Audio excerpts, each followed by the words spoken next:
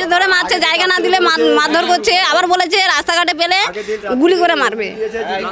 পেলে গুলি করে মারবে? হ্যাঁ গুলি করে এই সিরাজ ডাক্তার। সিরাজের ছেলেরা গিয়ে জোর করে ঘর বেঁধে দিয়েছে। না না কেন এরকম করল?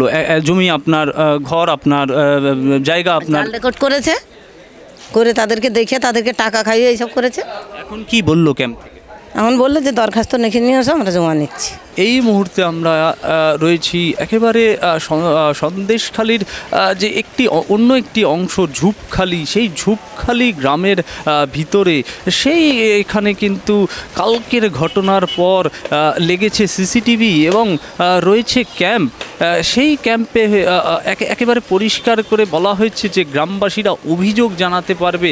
তাদের নির্দিষ্ট অভিযোগ জানানোর জন্যই কিন্তু ঠিক ঝুপখালির মোড়ে এইখানে পুলিশ পিকেট বসিয়ে ক্যাম্প করা হয়েছে অঞ্চলটা? একেবারে একশো চুয়াল্লিশ ধারা জারি করা- রয়েছে। চারজনের বেশি কেউ এখানে যাতায়াত করতে পারবেন না। গ্রামবাসীরা আসছেন।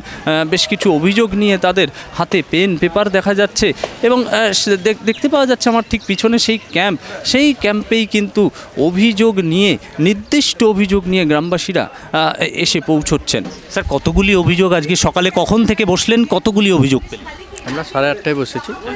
এখন পর্যন্ত ষোলোটার মতো হয়েছে হয় পনেরোটা পর্যন্ত হয়েছে। বেশি অভিযোগগুলি কিসের? আই হ্যাভ নো কমেন্টস দাদা প্লিজ জমি না জমিরই আছে। জমি জমি। তুমি এই জায়গাটা ছেড়ে দাও। তোমাকে আড়াই বিঘা জায়গা দিচ্ছি। তোমার যে ঘর করে আছে ঘরের ধরুন আড়াই মানে মানে দেড় লাখ টাকা দিচ্ছি। তুমি এই জায়গাটা আমাকে ছেড়ে দাও আমি এখানে মার্কেট করব।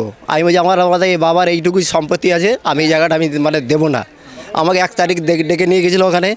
ডেকে নিয়ে যেতে বলতে ওখানে মানে অনেক কিছু মানে একটা পরিক্রমা করেছিল। আমি শুধু বললাম যে আমার ভাই আছে বোন আছে তাদের কাছে শুনে নিয়ে তারপর আমি তোমাকে রায় দেবো। বলে ওখান থেকে আমি পালিয়ে চলে এসেছি। সেইখান থেকে আমাকে এখানে কোনো ভাই দেয় না। আমি এখান থেকে দেশ ছাড়া। যে হাওড়ায় যে রাইস মিলে ছ বছর ধরে দেশ হ্যাঁ, বাচ্চা কাচ্চা নিয়ে আগে চলে গেছি। আমাদের এখানে থাকার মতন এক মুহূর্ত দেয়নি। কি হয়েছে? স্বামীটাকে তুলে মারলো। এই সিরাজ ডাক্তার কি হয়েছে? কি কে মারলো? আমাদের বাড়ি ঘর দেখবেন। দেখে আসেন চলুন কে মারলো কে? এই সিরাজ ডাক্তার। তুলে এনে মেরেছে আমাদের এই অভিযোগ কি ছিল? মারার মারার কারণ? জায়গাটা দেয়নি বলে তাই।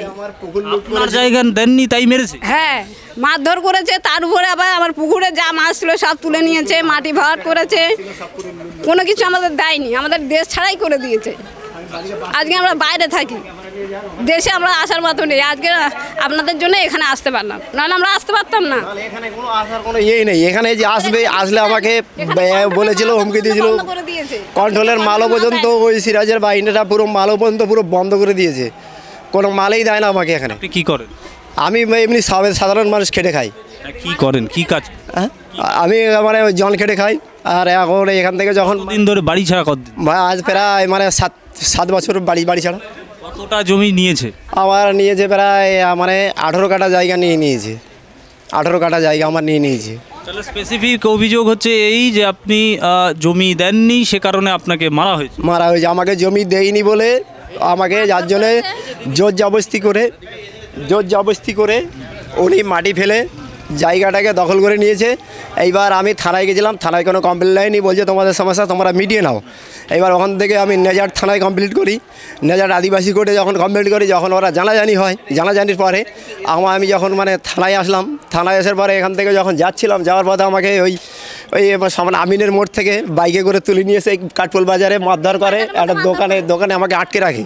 তারপর আমি মানে বিকাশ পরিষদে ফোন করার পরে আমাকে এখানে বের করে দেয় বের করার পরে ওখান থেকে আবার সবাই মানে পুলিশ টুলি আসলো এসে আমাকে সুরক্ষাভাবে আমাকে আবার নেজাটে পৌঁছে দিল। এখন কি চাইছেন?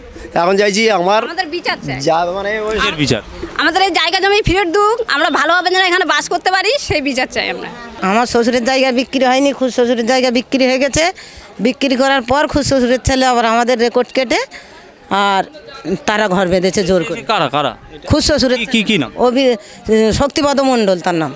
হ্যাঁ, কি করে আপনাদের জানিয়েছিল নেওয়ার আমাদের জানিয়েছিল কি আমরা বিচার দিয়েছিলাম আমাদের বিচার মারেনি। এই এই যে এখানে ওই সিদ্দিক দূর সিদ্দিক নাই যে নার নামটা কি? সিরাজের ভাই। দূর এনার নামটা আমি ভুলে যাচ্ছি। অভিযোগ তা- তারাই করি হ্যাঁ হ্যাঁ। সিরাজ সিরাজের ছেলেরা গিয়ে জোর করে ঘর বেঁধে দিয়েছে। না না কেন এরকম করল? জমি আপনার ঘর আপনার জায়গা আপনার? রেকর্ড করেছে। করে তাদেরকে দেখে তাদেরকে টাকা খাইয়ে এইসব করেছে। এখন কি বলল ক্যাম্প থেকে? এখন বলল যে দরখাস্ত লিখে নিয়ে এসো আমরা জমা নিচ্ছি। ভয় লাগছে ভয় লাগছে হুমকি দিচ্ছে। হ্যাঁ হুমকি তো দিচ্ছে তুলে এনে বাড়ি কি বলছে? মারছে আমার স্বামীর ধরে মারছে জায়গা না দিলে মার- মারধর করছে আবার বলেছে রাস্তাঘাটে পেলে গুলি করে মারবে। পেলে গুলি করে মারবে। হ্যাঁ গুলি করে বলেছে এটা? এই সিরাজ ডাক্তার। মানে সিরাজ না, আতা আর আতা রবি রবি রবিকুল বলেছে। তাদের লোক। এরা হচ্ছে মানে সিরাজের লোক। এরাই বলে আতা আর রবিকুল। এই দুজনেই। অসংখ্য আমাকে তুলে নিয়ে এসছে আতা রবিকুল আমিনের মোড় থেকে। তুলে নিয়ে সেখানে মারধর করেছিল। আর ওরাই বলে যে তুই যদি কোনো বেডমুজের পা দিস তো তোর জীবনে মেরে মেরে দেবো। ওই ভয়ে সেখানে মেরে দেবো। যেখানে পাবে সেখানে মেরে দেবে। তার মানে কি হচ্ছে এখানে? এখানে আমরা মুখ খুলতে পারি না ওনাদের ভয়তে। আমরা দেশ ছাড়া আজকে দেশে বাস করতে পারছি না। বাচ্চা কাচ্চা নিয়ে ছোট ছোট বাচ্চা কাচ্চা নিয়ে বাইরে পড়ে আছি। তার আমাদের কি কোনো এখানে মূল্য নেই? এটা কি নিয়ে এসেছিলেন আপনি? এইটা বিক্রি করা কাগজ এইটা এই পড়াশুনো জানি না, মূর্খ এইটা পর্চা হ্যাঁ এই সমস্ত ডকুমেন্টস নিয়েই কিন্তু তারা হাজির হচ্ছে। একেবারে তাদের নির্দিষ্ট অভিযোগ রয়েছে জমি। কোনো সময় সিরাজের সিরাজের যে জমি দখলের কারবার, যে যে এই এই যে এক- একটা সাম্রাজ্য গড়ে উঠেছিল, তা কখনো লোক দিয়ে হতো? কখনো পারিবারিক লোক দিয়ে হতো? তা পরিষ্কার। এই- এই তার প্রমাণ।